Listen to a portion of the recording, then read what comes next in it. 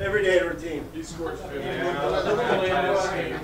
That's respect, boys. So you root for every 50 goal scorer on the Hei, team? Matti, is that kuva it? No, I- me and Per just had this arrangement the whole season. I don't want him hurting his hands, That's right. untying his skates, so. Yeah, I got it.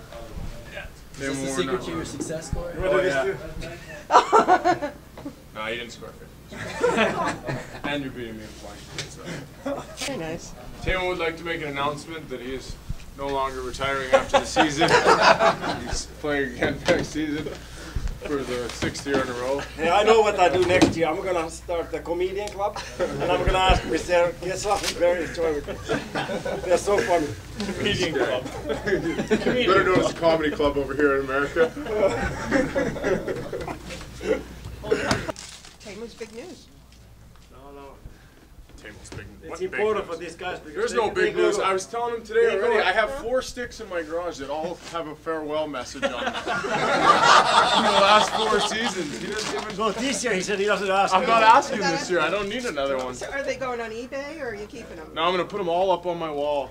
Every year that Teemu thought he was retiring. Nobody believe me anymore. No. He's going to play with his kids in the NHL like Gordie Howe. Yeah, he is. Absolutely.